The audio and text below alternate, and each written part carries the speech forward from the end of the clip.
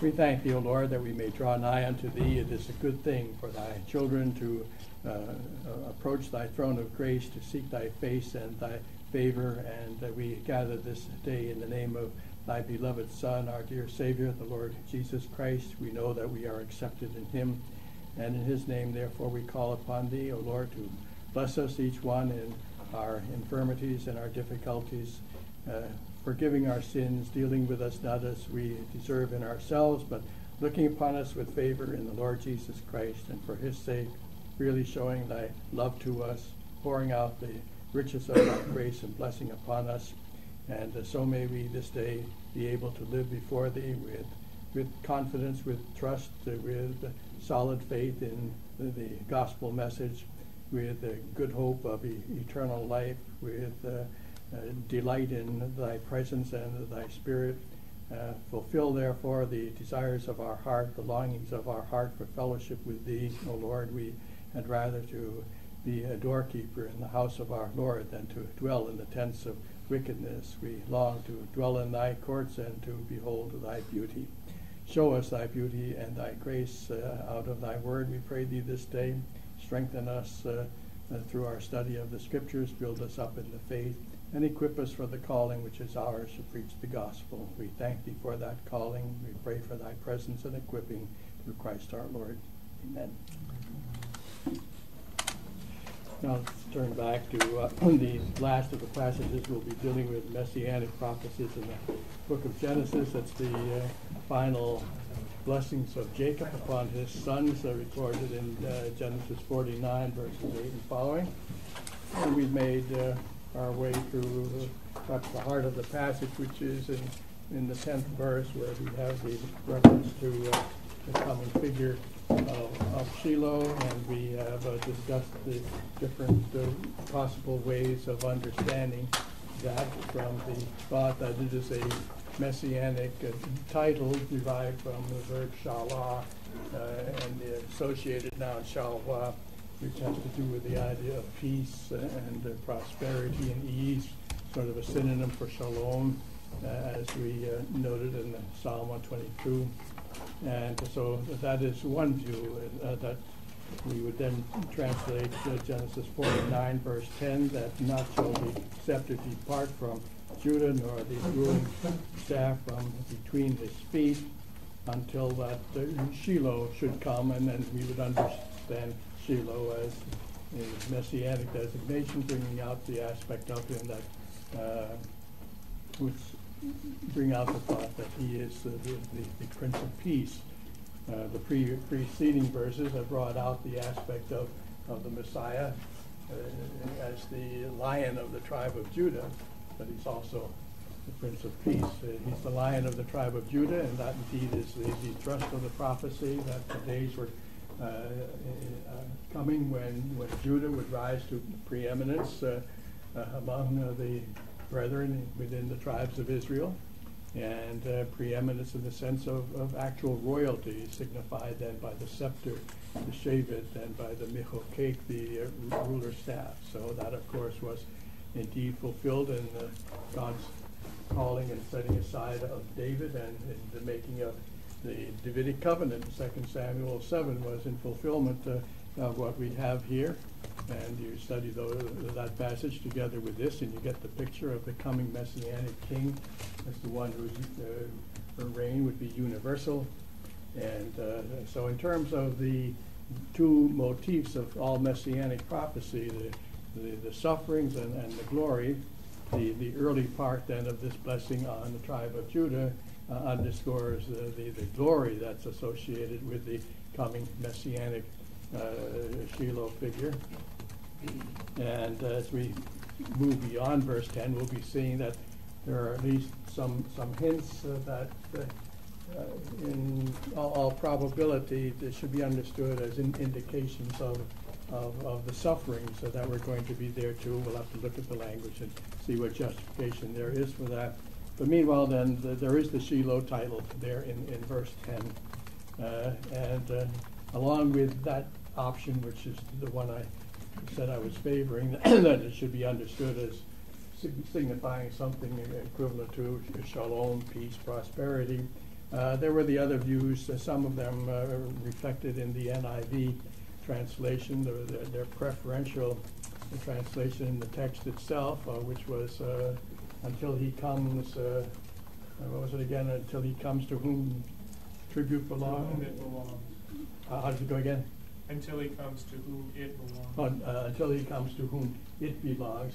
And uh, we, we, we saw the, the basis uh, for that in, in the apparent uh, allusion, obvious allusion to it in, in the Ezekiel passage, and uh, where uh, Ezekiel predicts uh, then the, the exile. He's, he's speaking right on the, on, on the, the brink of the situation where the Davidic covenant, yes, this had been fulfilled. Judah had come to the, the headship in the person of David and, and the Davidic covenant assured an ongoing uh, dynasty, in fact, fact, a perpetual one, however, at, at the, the antitypical level. Meanwhile, at the typical level, the, the Davidic dynasty was just about to come to an end, and Ezekiel predicts that a ruin, a ruin, a ruin, a make it take off the turban, take off uh, the, the, crown. Things aren't going to be the same anymore, as Ezekiel says. And uh, this is the way it's going to be until that one comes which to him belongs the mishpat, the judgment is the way uh, Ezekiel put it. So he evidently, uh, as the, then also the, the Septuagint translators uh, did, we notice, uh, Ezekiel seems then to take the, the Shiloh as uh, consisting of the relative pronoun asher and abbreviated form sheh, and uh, the preposition lamed and the pronominal suffix, so that which to him, instead of one name, Shiloh, it would be a composite, uh, meaning which to him. And uh, so Ezekiel then uh, certainly alludes to, to uh, Genesis 49, and the only question is, I, I would regard it uh, uh, as a, a wordplay, that he's punning on the name Shiloh, and uh, others would regard it as a, with the, having the intention to bring out the actual etymology of the, of the thing. So at, at the NIV the translators, so you know, I can understand, and sympathize with, their preference for that, uh, that understanding uh, of it. Then uh, along with their, their reference to the view that I'm adopting in, in a, a footnote, they also footnoted uh, the possibility, um, which had the word tribute in it. Well, how, how does that one go then? Right, until he comes to whom tribute Oh, belongs. yes, until he comes to whom tribute uh, uh, uh, belongs. And uh, that was based uh, on taking the sheen at the beginning of Shiloh, not as the relative pronoun, but as the, the, the, the word she, uh, meaning tribute. And this, uh, so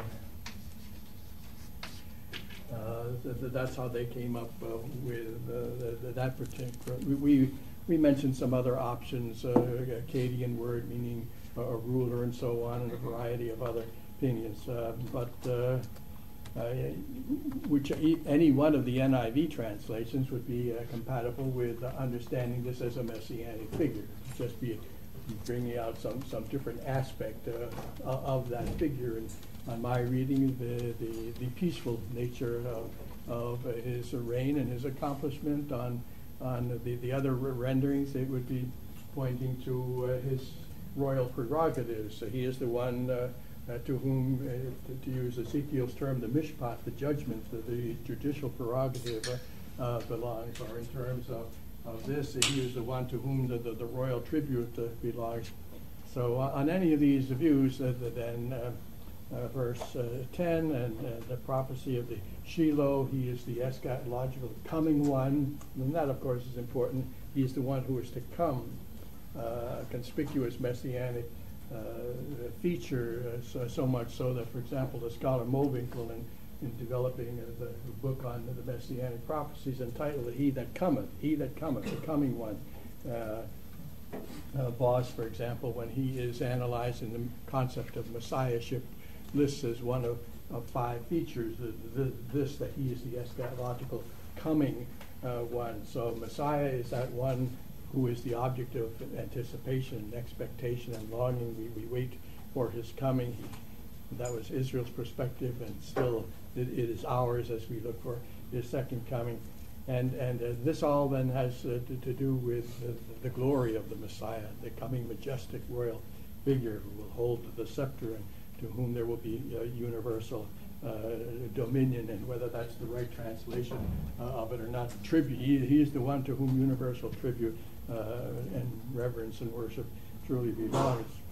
So until he comes, until Shiloh comes, and to him will be the obedience of the peoples, the Amim. And so we notice here that it goes beyond just that the, that the twelve brothers of the, the Israelite tribes will bow down to him. The Amim are the peoples of the Gentiles out there, which then, of course, picks up on our earlier, uh, the earlier universal theme we saw in, especially in, uh, in uh, Noah's uh, oracles concerning his son, and especially his oracle concerning uh, Japheth when he spoke about uh, the, may God open it wide, the, the covenant tents, uh, uh, so that the Japhethites might come in.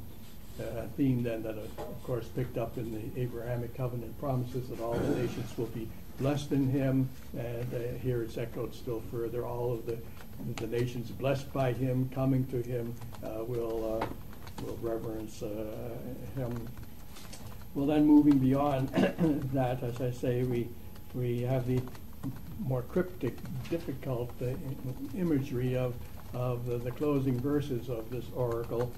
And uh, beginning then with verse e- 11, it speaks about uh, binding to the vine Yero, his donkey. And then in parallelism with it, and to the choice vine, instead of Yero, it now has the, the parallel is Beno Atono. And uh, so the, the osiri, the, the verb, does, uh, does double duty. Uh, in the, the second clause, there's an ellipsis of it, but the osiri does double duty. So, so binding to the vine his donkey, yes, binding to the choice vine uh, the, the ass's uh, colt. The, uh, and uh, so there's that particular imagery, and let's just translate the rest and then pick up on some of the details and problems. Uh, washing. Hmm? Now we get the, the, the imagery of the stained, blood-stained uh, garments. Washing the yayin in wine, his vesture, and then as a synonym for the, the wine, the blood of the grapes, and the choice of the, the dam as blood will be one of those esoteric hints, uh, something to do with suffering here, huh? Washing in wine his garment, yes, and again, the verb doing double duty, washing in the blood of grapes, uh, his, his vesture. And then finally, and, and, and- still mysterious, darkness of eyes. And now we have miyayin, and we have the choice of translating the preposition min as uh, comparative or as uh, the source or cause. His eyes are, are, are dark with wine or are, are darker than wine. And uh, then whiteness literally of teeth, once again, from drinking milk or teeth that are whiter than milk. So uh, the, there, there is uh, that imagery.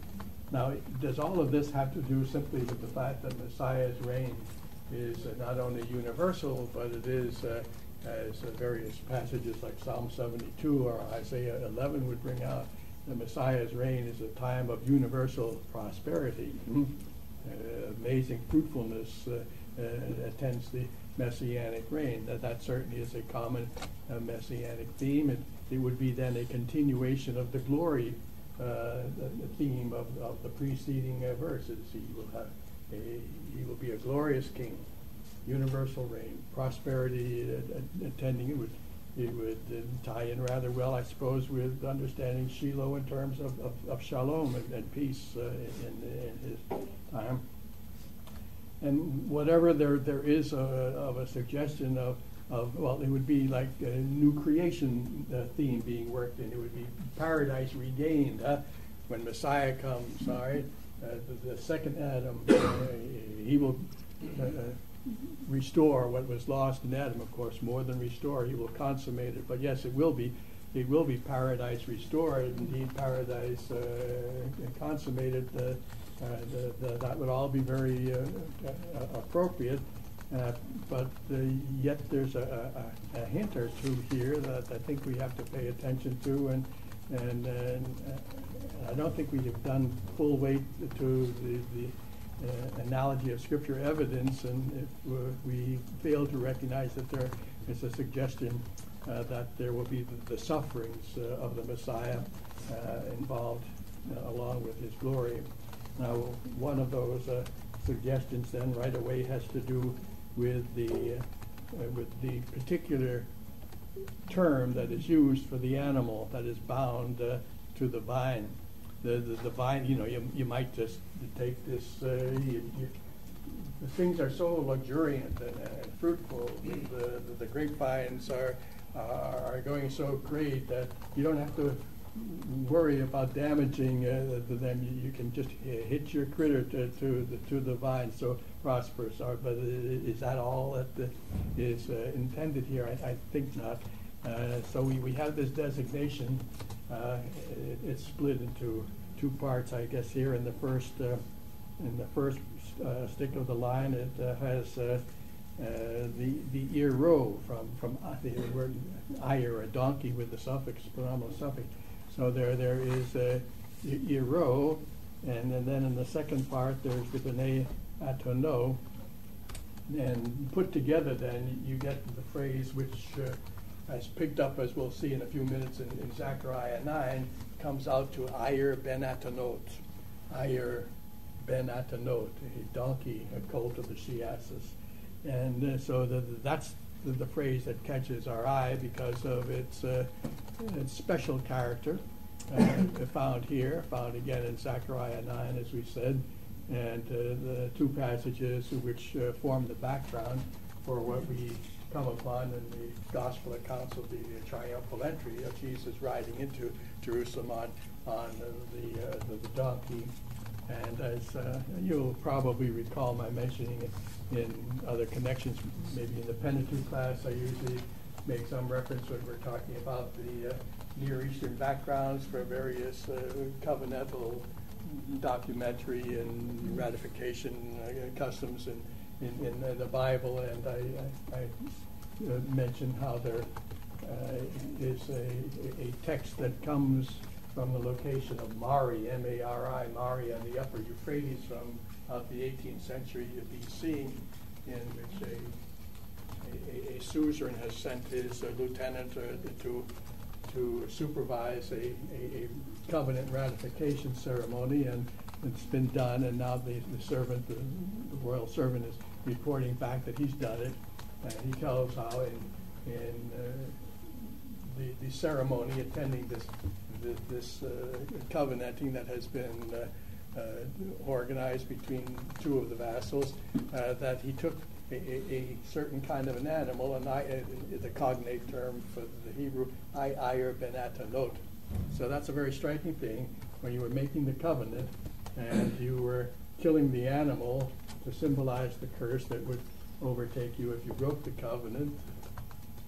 Then a, a stipulated type of animal was this particular, whatever particular special breed is, is signified by Ayer ben Atanot. It was some special breed of, of, of donkey, and it was this kind uh, that would appropriately, properly qualify to to serve as the covenant donkey, as the, the covenant whose shedding of whose blood would uh, ratify uh, the, the, covenant. And against that background, uh, that, that, that particular uh, descriptive, uh, the title of this, this animal in, in, in, our text, and again then in, in the Zechariah 9 passage, and then again in, in, in, the gospel account of the triumphal entry, uh, so suggest that that's what we should see. We should see that this particular donkey uh, is uh, associated, or the Messiah is associated here with, with a donkey which was uh, known for its role in shedding its blood in order to ratify a covenant. And of course, then takes on whole new rich meaning uh, as we, we see it picked up in Zechariah 9 and in the uh, account of Jesus' triumphal entry, which we will uh, say then, you know, a bit more about when we, we look at Zechariah 9. But there then is, is one hint. Uh, that, that special terminology for the donkey is one hint uh, that there's the way to glory is going to be through the way of shedding the, the blood to ratify the new covenant. The Lord becomes the Lord.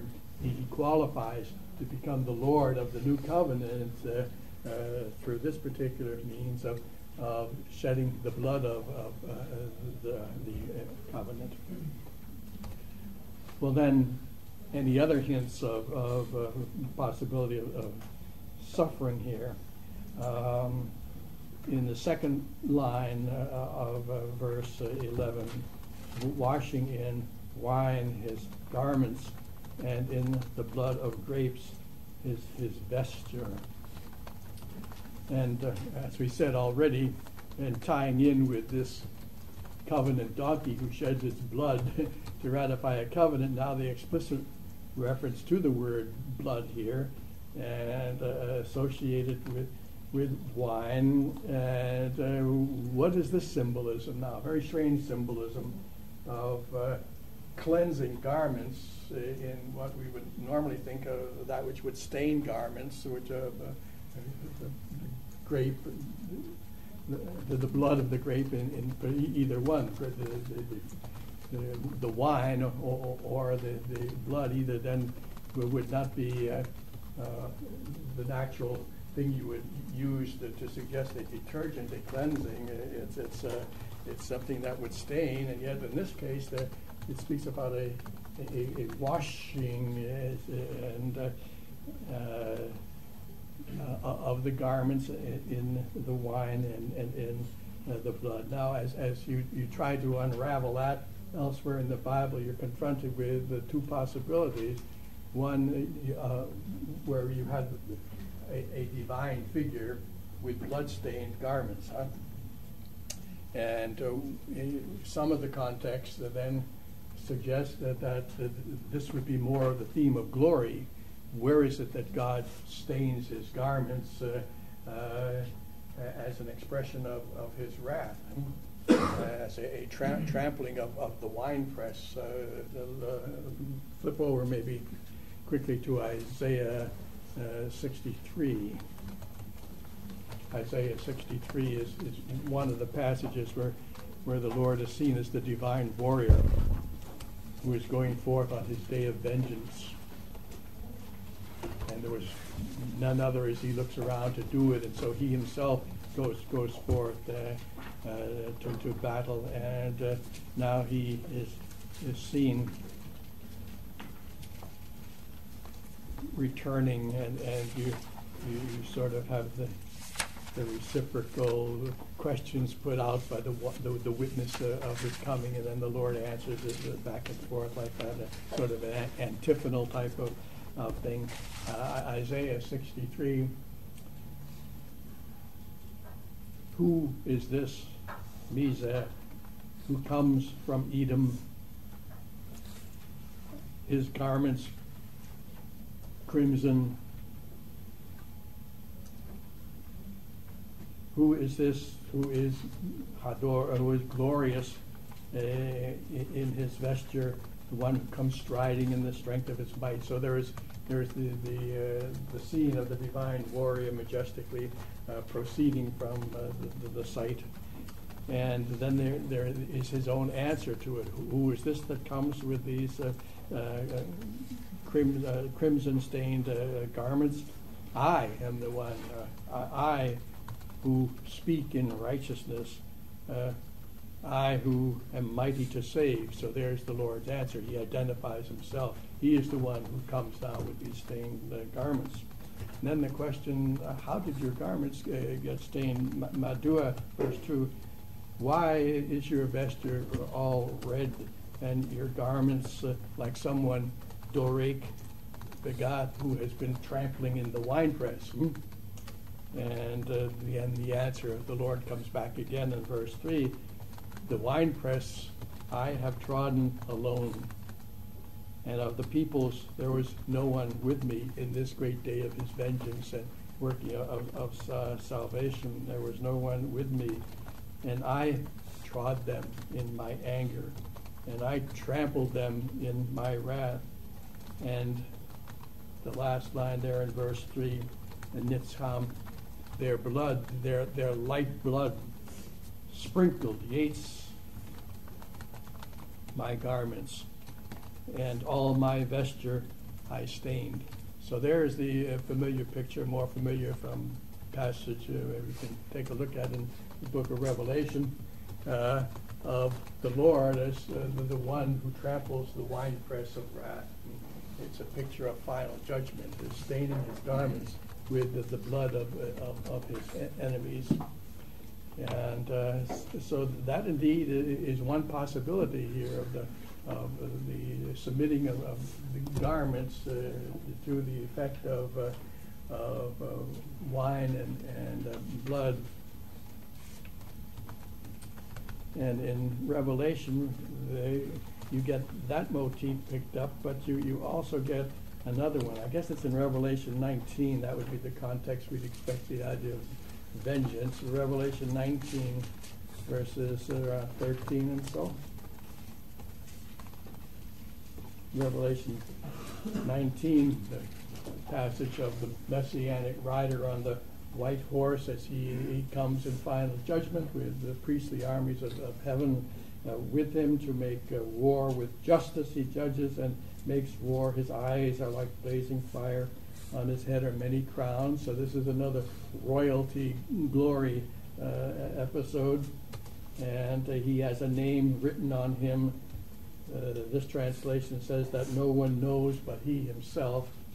Uh, I I suggest that the right translation there is uh, not that no, no one knows but he himself, but that no one owns but he himself. As a matter of fact, we, we know the name that is written there, told us in the context.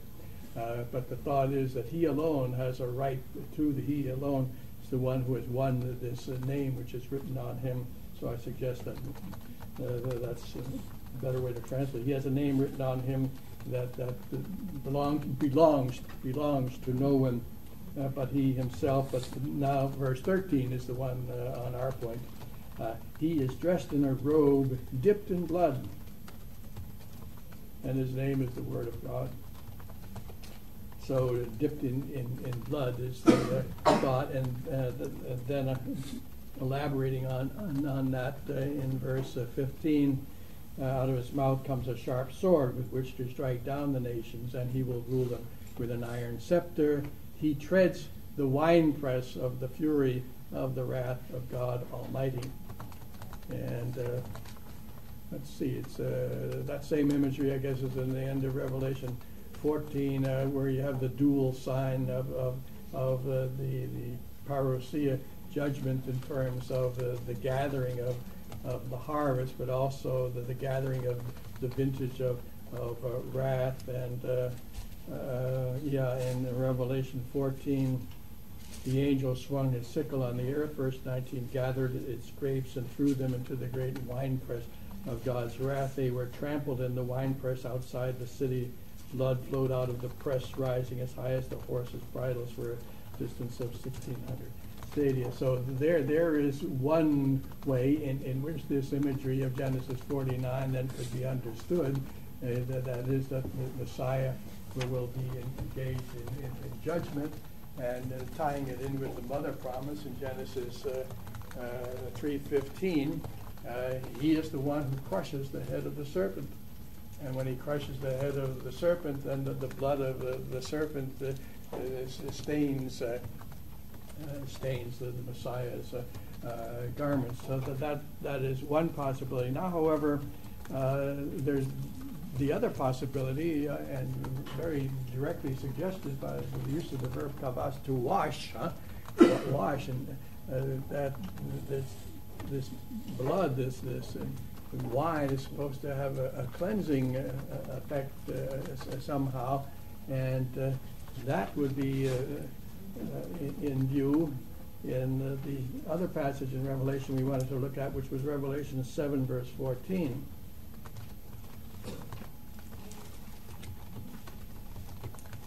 Revelation seven would be then the, the dual vision of, of the people of God, first in terms more of prophetic idiom, Old Testament imagery of, of uh, the 144,000, the 12,000 from each of the, the tribes. And that's the, uh, the, the, first part of uh, Revelation 7. But then the vision is doubled. And in, in uh, the, second part, beginning with verse uh, 8 or 9, uh, it's uh, the, the co- covenant community, the redeemed, are, are described in more straightforward New Testament terms, and not so much in the Old Testament imagery of the 12 tribes, but in the reality of a multitude from all of the nations, and from every tribe, nation, people, and language standing before the throne in front of the Lamb. And they were wearing these white robes and holding palm branches and so on. And verse 14 was it? Uh, yeah, yeah. The question is asked, then one of the elders asked me, asked John, these in the white robes, uh, who are they and where did they come from? I answered, Sir, you know. And he said, These are they who have come out of the great tribulation. They have come out of the New Testament age of, of the Great Commission preaching, which is an age when the saints suffer uh, for their faithfulness in preaching, uh, the, fulfilling the Great Commission. So the church age is simultaneously the age of the Great Commission and the age of the Great Tribulation. These two things uh, go together. They've come out of that. They're, they're, they're in uh, heaven now. They're, they're in the church triumphant, no longer down in the, the church militant where martyrs are, are made. But uh, the, they are there and uh, they've come out of the great tribulation and they have, now it's washed, hmm? not stained their garments uh, in expression of, of, of vengeance, but they have washed their robes and made them white in the blood of the Lamb. And it's uh, hard to divorce that, uh, to fail to see that as an allusion uh, to these other passages, in particular to the Genesis 49 passage, and uh, as, as elaborated, we'll see in, in, in Zechariah uh, 9 as well. And uh, so I think uh, there there's a, a, strong hint that back in Genesis 49, uh, uh, there's something of the idea of, of the sufferings, the shedding of the blood to, uh, to, to cleanse uh, his people, as well as the shedding of the, the, blood of the enemies. And you know, those two things, again, looking at Genesis 3.15, belong right right together in, in, the act of, of the seed of the woman trampling with his heel upon the head of the serpent, the blood is flowing from both directions. Huh? And the Messiah's, the, the blood of his heel is flowing, hmm? but also the, the blood of the serpent is uh, uh, uh, flowing as, as uh, he is stamped upon. And, uh, and so there's a, a combination of the, the, the, two kinds of, of blood staining here one for vengeance, one shedding the blood, which is the basis then of the reconciliation, atonement for, for the, the rest of the, the seed of the woman. Well, now, beyond that, uh, the closing verse, verse 12, uh, darkness of eyes from wine or whiteness of, of teeth uh, uh from, from milk uh, perhaps we, we, we should settle here at, at the, the, the end uh, for the, the theme of, uh, of the paradise restored here. And uh, that, that motif comes in, whatever element of suffering was in the preceding verse. Messiah's reign is one where he brings back a land flowing with milk and honey and wine. And uh, so perhaps that's the way to understand uh, verse 12. But putting the whole thing together, then, uh, uh, Jacob predicts from the line of Judah the coming of eschatologically of the Messianic King, Prince of Peace, who will bring judgment on the enemy, crush the serpent's head, and in, in this way bring salvation, uh, forgiveness, cleansing to his people, an age of, of universal prosperity. Confirming, confirming our whole hermeneutical approach now to this passage and, uh, and bringing out the, the, the, the continuity and the unity of, of the biblical revelation concerning the Messiah over a period of, of hundreds of years now, from, from uh, Jacob uh, uh, down to Zechariah. Uh, let's turn now to Zechariah 9.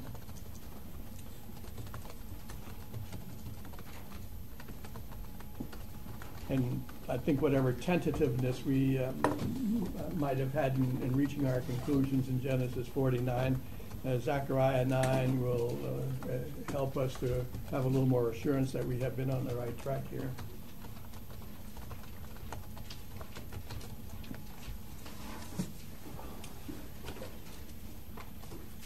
This is a great chapter from from various points of, of view. It's, it's uh, helpful in uh, bringing out things we should be aware of in, in exegesis of uh, the prophets. Uh, you know, the, the prophets look ahead to the messianic age and uh, the new covenant unfolds in, in two stages. We had something of this in, in, uh, when we looked at Jeremiah 31, which was a new covenant prophecy.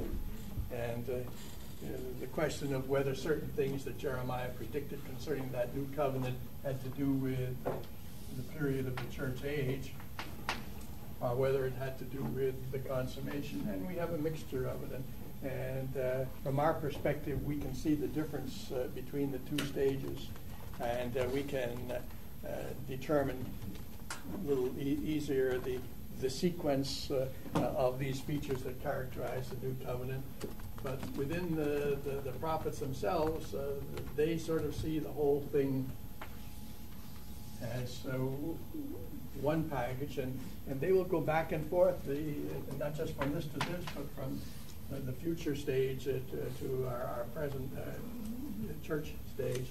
And uh, Zechariah 9 is a good example of that. It begins, the, the opening eight verses or so in, in Zechariah 9 are a picture of of uh, the new conquest.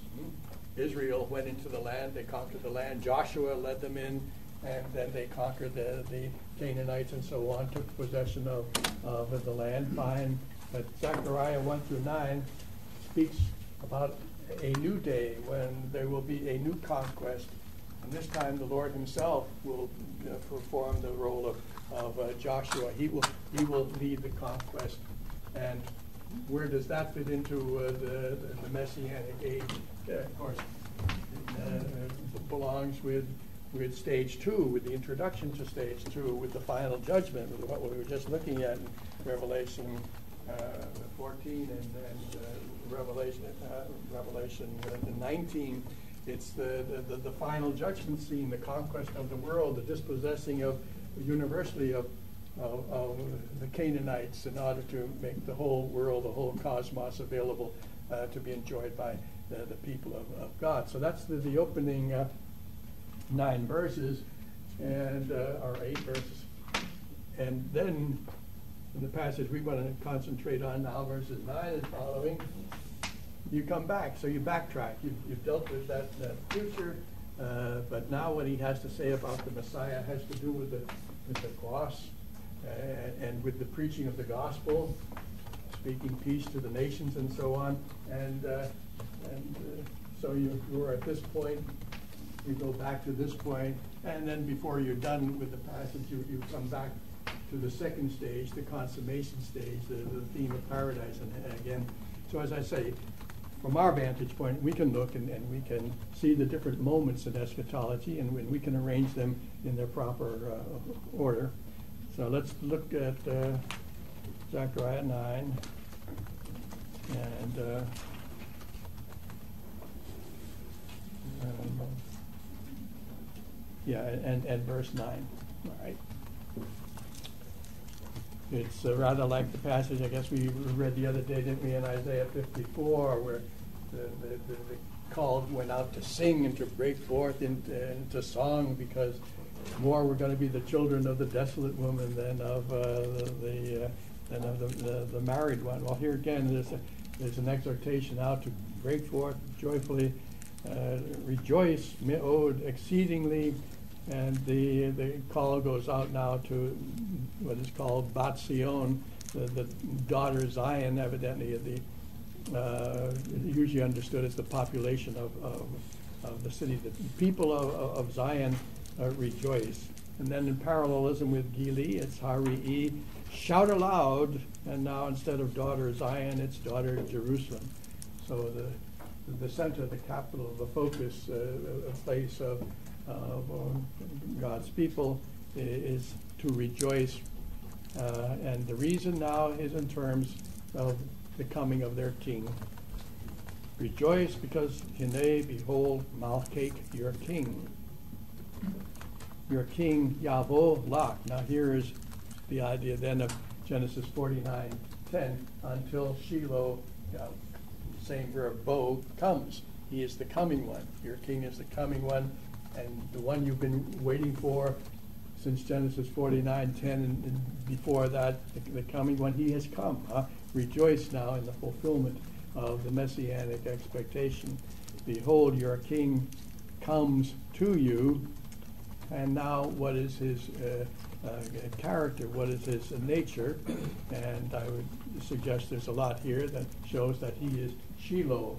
He is Shiloh, the, the, the Prince of, of Peace, uh, uh, the one who, who brings uh, prosperity and so on to his people uh, and to Jerusalem. And as the Psalm 122 is expressing it. Behold, your king comes to you, and he is righteous, Zadik. He is righteous. Now notice the next word. The next word is no shah. The root, of course, is from which we get the name of Joshua Jesus, saving Yasha. But now, what is the form? What is the form with the with the uh, nun preformative, of course, signalizing a nifal? And uh, so we have here a nifal participle, and what normally is the significance of the nifal? Well, of course, passive. Now, our traditional translation is that of this is that he comes righteous and at least King James, James was having salvation. What does the NIV do? I don't know what the NIV does with that. Ha- Having salvation. All right, but now how do you get that out, out of uh, the, out of a passive, uh, which uh, more strictly is he comes as one who is righteous and as one who is saved. He is righteous, and no shahu he and he is he is saved. Uh, the the imagery here is uh, we're back in Genesis three fifteen again, and uh, the, the the there's the holy war of the ages, and it began with the woman, enmity between you and the woman, which would be continued, your seed and her seed, until the climactic battle. And the, the climactic battle we suggested was one of a, of a, a duel of champions, a, a trial by ordeal. In the final hour of, of the ultimate conflict, that God would render the verdict and the verdict would be rendered as, as the two armies were represented each by his champion, the David and the Goliath, and meet one another. And uh, in a trial by ordeal, the, the, the principle is uh, that uh, there is a rendering of a divine judgment. Human sources of, of judicial discrimination fail. They, they can't settle the thing, and so there is resort to deity uh, to intervene uh, through some ordeal agency or, or through combat between the, the, the rival claimants in the, the situation, and it's more that that we have to do with here. So here are, are the rival claimants. Uh, here is Christ and, and, and, and the dragon. Uh, here is the ultimate Armageddon uh, battle, and, and in, in this battle, it- is it Christ or, or Satan that is going to prevail? God renders the verdict as uh, they, they meet in combat, and, and the outcome is that a verdict of Zadik, righteous, is, is rendered in, in behalf of your king. Rejoice because your king is the one who emerges uh, from this ordeal combat with the verdict of righteousness. And in the ordeal, the, the right party wa- was given the, the verdict of, of, of righteous, and the guilty party was, was, was condemned with with the uh, equivalent uh, uh, verdict. And so the, the, the verdict of, of, of victory, the, the verdict of being in the right, of being Zadik, God renders in behalf of, of uh, his servant, your king, in the resurrection. There is the vindication. There is, is the word of approbation, which is, is pronounced by, by heaven and, and, and sealed by the resurrection and the ascension and, and, and the assigning of glory uh, to the Messiah. Yes, there is that, uh, that glory, and of course the glory comes as we see precisely because he has been the, one who has suffered. But yes, he, he is the Zadik one, and now we can understand, I think, the passive Nosha. He is the one who is delivered from the ordeal. The ordeal is mortal combat in, in which uh, everything is at, at stake, is at risk. And, uh, and uh, your king is the one who will emerge from, from that mortal combat. He will have had, we know, the, the, the healing of the wound, but he will have crushed the serpent's head. He will emerge as the one who is delivered uh, from this mortal combat. And of course, it is only because he, he does, and that he is the one who is saved in this hour of judgment and receives the, the, the endorsement of, of, God, that he is in a position to save others, and therefore the NIV and, and Old King James uh, Version are, aren't so bad after all in terms of their ultimate meaning. Huh? Uh, it's just that uh, you don't get there quite as directly, I don't think, as their translation. I think it takes an understanding of this ordeal background to understand uh, uh, how you do get there. So he is the one who is de- delivered, is declared righteous, and now he is the one uh, who can, through his administration of the new covenant, share the, the blessings. He can mediate the blessings which he has merited in terms of his relationship uh, uh, to the commission of the Father. Well, going on then, rejoice, uh, your king comes to you, righteous, and however you want to translate it, then uh, victorious, uh, delivered. Uh, is he also afflicted? Hmm? Afflicted. And now here we come to our friend the Doc Covenant donkey, all right? And afflicted and Rochev al Hamor, yes, uh, al Ayer ben Atanot.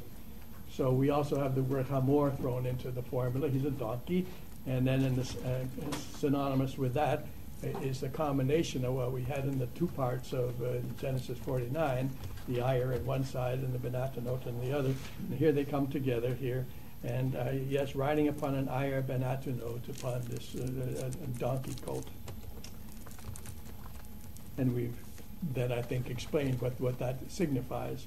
And when, therefore, the, the, this thought is fulfilled, this prophecy is fulfilled in the triumphal entry, the significance of Jesus riding on this donkey should be appreciated as involving something more than his humility and something more than just uh, the, the, fact that he comes as a Shiloh bringing uh, peace, as a Prince of Peace. Uh, something more than that is, uh, is the, the way in, in, in, which he qualifies to speak peace to the nations, namely, he, he is the one who sheds the blood of the the covenant. He, he comes riding on the covenant donkey, signifying what was his real purpose that day in his moving into uh, uh, in Jerusalem.